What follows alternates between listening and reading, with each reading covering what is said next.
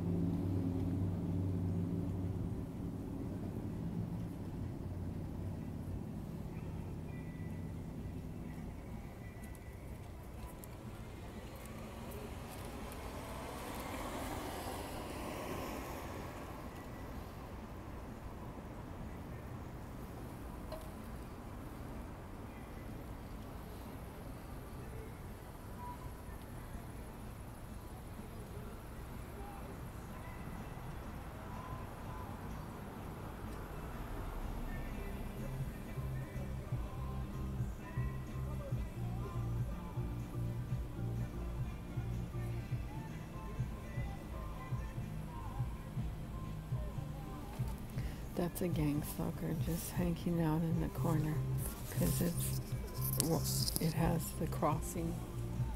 He can actually cross, and he's not crossing.